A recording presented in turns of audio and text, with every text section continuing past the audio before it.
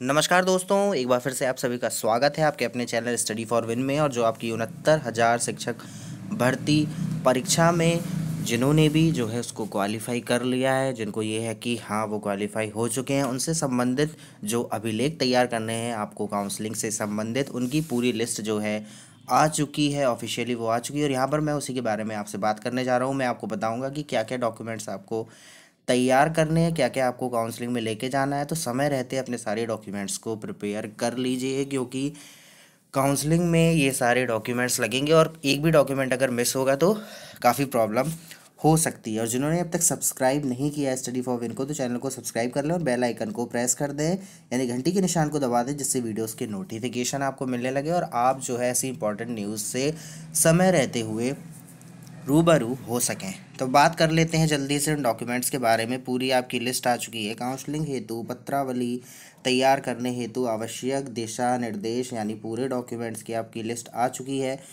Counselling में प्रतिभाग करने वाले समस्त अभ्यर्थी निम्न को क्रमानुसार अपनी समस्त अभिलेखों की छाया प्रति, यानी फोटोकॉपी वाली दो दो पत्रावलियाँ तैयार करेंगे। दो दो पत्रावलियाँ मतलब दो दो फाइल्स आपको तैयार करनी है ओरिजिनल डॉक्यूमेंट्स के साथ आपको सभी डॉक्यूमेंट्स की दो दो फोटोकॉपीज़ वाली का इंडिविजुअल रूप से दो दो जो है आपकी फ़ाइल्स को प्रिपेयर करना है। क्या क्या होगा उसमें, उसकी बात कर लेते हैं जल्दी से। तो पहला है आपका आवेदन पत्र, पहले पे है आपका क्रमानुसार ही आपको लगाना है, क्योंकि यहाँ पे लिखा हुआ है क्रम के अनुसार तो पहला है आवेदन पत्र, जो आपने आवेदन किया हो। दूसरा है आपका ई आवेदन पत्र, जो संबंधित जनपद हेतु भरा गया, यानी आपका जो ऑनलाइन आवेदन पत्र है वो। तीसरा है आपका रजिस्ट्रेशन। चौथा है बैंक ड्राफ्ट। सचिव, उत्तर प्रदेश बेसिक शिक्षा परिषद, इलाहाबाद, सामान्य ओबीसी रुपये पाँच सौ अनुसूचित जाति।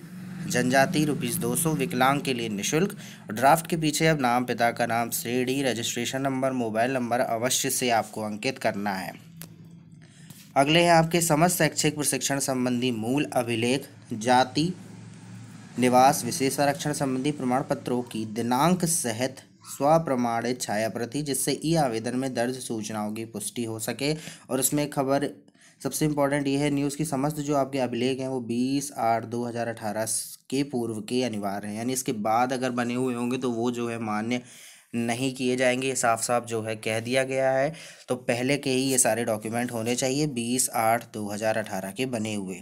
हाई स्कूल अंक पत्र व प्रमाण पत्र इंटरमीडिएट अंक पत्र, प्रमाण पत्र, स्नातक के समस्त अंक पत्र, वर्षवार व प्रमाण पत्र, degree provisional degree BTC D Ed B L Ed राष्ट्रीय अध्यापक परिषद द्वारा मान्य शिक्षा में द्विवर्षीय डिप्लोमा अंक पत्र और प्रमाण पत्र टीईटी या सी टेट का प्रमाण पत्र जाति प्रमाण पत्र पिता के नाम का, ठीक है, जाति प्रमाण पत्र चाहिए आपको, पिता के नाम का। निवास प्रमाण पत्र उत्तर प्रदेश में पाँच वर्ष से आप निवास कर रहे हो। विशेष आरक्षण प्रमाण पत्र चार पासपोर्ट साइज़ कलर्ड फ़ोटो चाहिए, पहचान पत्र, आपके आइडेंटिटी कार्ड की फ़ोटोकॉपी, सौ रुपये के नॉन जुडिशियल स्टाम्प पर फ़ोटो युक्त शपथ पत्र चाहिए एकमात्र जीवित पति या पत्नी होने का शपथ पत्र और बैंक ड्राफ्ट की छाया प्रति तो ये सारे डॉक्यूमेंट्स आपको लेने जा, लेके जाने हैं, सारे तैयार करने हैं समय रहते हुए, क्योंकि काउंसलिंग निश्चित तौर पर होनी है और ये सारे डॉक्यूमेंट्स इनमें से अगर कोई भी मिस होगा तो काफ़ी जो है दिक्कत हो सकती है। तो ये सारे डॉक्यूमेंट्स समय रहते हुए तैयार कर लीजिए। यही थी इस समय के लिए आपके लिए इंपॉर्टेंट न्यूज़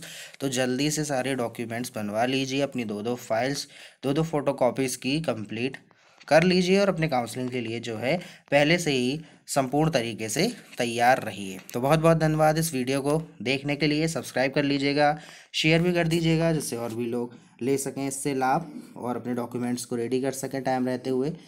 सभी को मेरा प्यार भरा नमस्कार। बहुत बहुत धन्यवाद इस वीडियो को देखने के लिए। सभी को ऑल द बेस्ट और कोई भी अपडेट आपकी शिक्षक भर्ती से संबंधित आती है तो यहाँ पे आपको सबसे पहले अपडेट कर दिया जाएगा। नमस्कार।